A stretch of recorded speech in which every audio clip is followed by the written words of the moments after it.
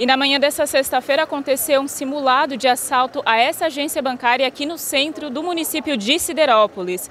Rua Presidente Dutra, mobilização de aproximadamente 80 policiais militares. Essa é uma ação então que finaliza a semana após uma ação a combate a crimes contra o patrimônio que aconteceu na sede da ANREC, que é a Associação dos Municípios da Região Carbonífera. Aqui a gente ainda vê a movimentação de policiais militares. Essa rua aqui acabou sendo interditada ao longo dessa semana, então foi avisado para a população que se trata de um simulado. Então, essa ação foi programada logo depois, né, então do que aconteceu em Criciúma no assalto ao Banco do Brasil, né, considerado hoje o maior assalto a bancos, uma instituição financeira do país. A gente percebe que aqui a rua então foi é, toda ela foi fechada, né, ali à frente, então o carro da Polícia Militar, do BOP. Aqui também a gente via aqui imagens de balas, então logo no início começou essa simulação por volta das 8 horas da manhã, com simulação também de refém, deslocamento então de viaturas e a população, claro, acompanhando aqui ao entorno, né, que é uma região que tem residências e também lojas, acabou sendo interditada para a simulação da manhã dessa sexta-feira. Pois bem, após uma semana de, de imersão em conhecimento, com nossos policiais tendo uma bateria, uma grande gama de, de, disciplinas teóricas, das mais variadas disciplinas voltadas a, a, ações de combate a crimes violentos contra o patrimônio, com um foco especial em, em instituições financeiras. Nós fechamos esse, esse treinamento, esse curso, com um simulado um simulado de um roubo a uma agência bancária, procurando levar o policial mais próximo à realidade e exigindo dele a aplicação de todas as técnicas, táticas, conhecimento que eles agregaram no decorrer dessa semana. Criamos um cenário que o policial, os policiais, né, os 58 alunos que estão nesse evento, eles estão realizando seu policiamento ordinário, estão nas suas, nas suas cidades, na sua, lá na sua patrulha, lá no seu PO, e em determinado momento, sem eles saberem o horário, sem saber o local, sem saber qual agência, nós anunciamos um roubo a uma agência bancária em uma cidade que foi escolhida aqui, a cidade de Siderópolis. Nesse momento, eles têm, precisam se organizar, montar um plano de defesa, um plano de, de intervenção, de atuação, de reconhecimento do cenário do local da crise e depois sair à busca do, dos marginais. Nós criamos um cenário em que um refém foi levado, então uma situação mais crítica em um roubo a banco. Os policiais eles vão ter que ter, tem que buscar informações de quem é esse refém, onde está esse refém, onde foi abandonado, técnicas de entrevista com o refém para buscar a localização do marginal.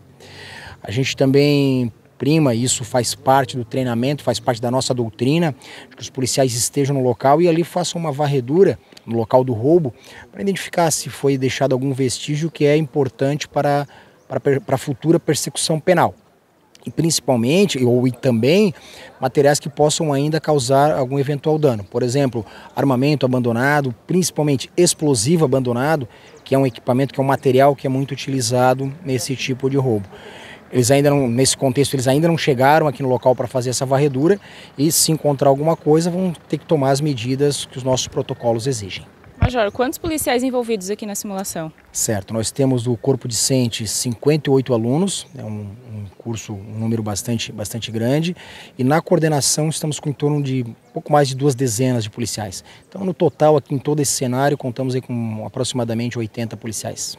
Bom, eu converso agora com o subcomandante da Polícia Militar aqui de Santa Catarina, Marcelo Pontes. Primeiro agradeço por conversar conosco, né? Então falando sobre essa mobilização aqui na manhã de hoje, simulação aqui no centro de Siderópolis e essa ação que aconteceu durante toda essa semana, né, subcomandante? Então, foi uma ação já um planejamento criado depois do assalto que teve em Criciúma? Então, esse simulado que está acontecendo aqui em Siderópolis, ele, é, ele finaliza né, todo um, um curso que foi iniciado na segunda-feira em Criciúma, voltado ao trabalho da Polícia Militar é, em crimes graves contra o patrimônio, como o que aconteceu aqui em Criciúma um ano atrás. A partir desse, desse episódio, né, é lamentável que nós atuamos fortemente e firmemente na, na, naquela ocorrência, o Polícia Militar vem se preparando, né, dando continuidade ao preparo, mas fortalecendo ainda mais as ações na parte de aquisição de materiais, equipamento, armamento, mas também investindo muito na capacitação e treinamento dos nossos policiais militares. E aí nós formatamos esse curso, né, é, é, que está acontecendo em todas as regiões de Santa Catarina. Esse ano foram quatro cursos, esse é o quarto curso. Temos já em Canoinhas, é, Rio do Sul, é, em Caçador, Né? Então, todos os policiais daquelas regiões foram mobilizados, igual aqui. Então, a ideia é a gente é, formar aqui um grupo de trabalho. Né? Nós tem aqui participando desse curso um policial militar de cada município daqui da região sul catarinense, mais outras agências de segurança que participam conosco, e formar ali é, um grupo de trabalho né, de, de multiplicação de informação para, primeiro, agir preventivamente, né? É, identificar, eventualmente, potencialmente, algum é, indicador que possa dar algum indicativo que possa lhe surgir um, fato grave como um assalto a banco, por exemplo. Né? E existem técnicas de, de, inteligência que permitem isso. Isso foi passado ao longo dessa semana aos policiais militares, para que eles, por si só ou com a comunidade, né, tentar identificar né, pessoas que são de fora da cidade, veículos circulando, são algumas situações que, que a gente possa identificar e agir preventivamente, para que não aconteça. Ainda assim acontecendo, né, que é o caso desse simulado, o que fazer? que cada um vai, vai, vai, qual é a sua missão, quais são as barreiras que serão montadas é, de forma imediata, quais os órgãos que vão acionar primeiramente, né? qual é a linha de, de, de comando para essa situação.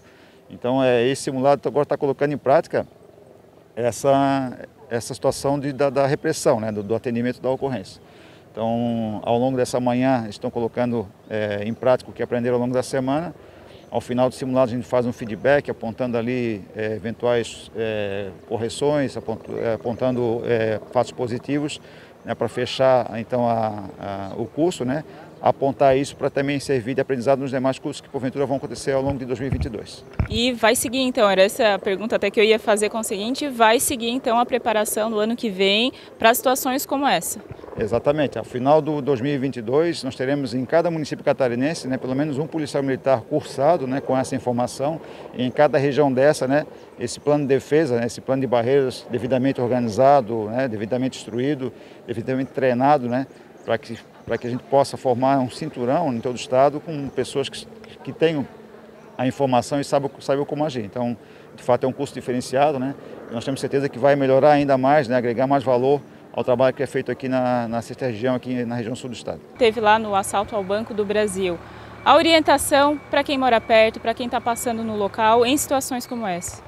É sempre procurar um local, né, é, abrigado, um local onde ele consiga se proteger, né, inicialmente, é, que se afaste, né, e deixe a polícia é, fazer o trabalho, né, de é, buscar informações, né, e, se possível, se tiver alguma informação, alguma filmagem, encaminhe para, para, para os policiais, para a polícia militar, que essa informação ela pode ser muito valiosa.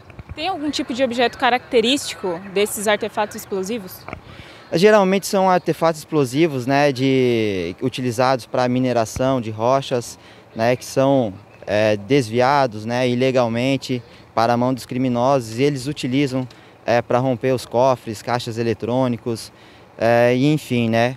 Mas como é, esses materiais é, eles não têm uma certa procedência, é, eles não são estocados de forma correta, muitos desses materiais eles não podem, é, não conseguem ser deflagrados com eficiência e ficam restos no local, né? Ou às vezes fica ali o, é, o, o explosivo largado, não funcionou, e aí a polícia tem que ser chamada, né? A polícia militar, através do BOP, ser chamada para retirar esse, esse explosivo com segurança. E, e muitos dos delitos que ocorrem no Rio Grande do Sul acaba ocorrendo fuga para o estado de Santa Catarina e vice-versa. Né? Muitos delitos que acontecem em Santa Catarina acabam é, os delinquentes deslocando para o estado do Rio Grande do Sul, como foi o caso que nós tivemos aqui em Criciúma, onde os delinquentes acabaram sendo presos, a maioria deles, no, no estado do Rio Grande do Sul.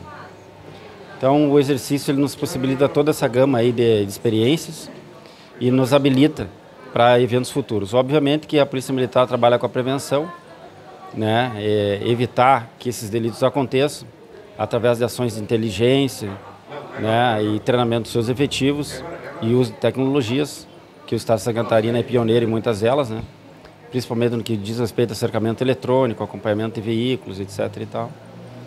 Mas, diante de uma necessidade, de um acontecimento, de um sinistro mais grave, a Polícia Militar tem que estar preparada. E é isso que nós estamos fazendo aqui, treinando para estarmos preparados para esses eventos críticos. Aqui dentro nós estabelecemos um posto de comando. Né? O posto de comando ele é estabelecido, é organizado com as pessoas que têm capacidade de dirigir essa crise. Né? São pessoas com capacidade de, de decisão e, e aqui se articulam todos os recursos tanto os recursos humanos como os recursos materiais, no caso as viaturas e os armamentos, e é, é feito a disposição desses recursos no terreno, de forma articulada, de forma estratégica, para que a gente consiga bloquear a rota de fuga dos delinquentes e se não conseguir bloquear a rota de fuga deles, a gente consiga, é, como eu disse, impactar na rota de fuga deles a ponto deles cometerem algum erro e a gente conseguir efetuar a prisão.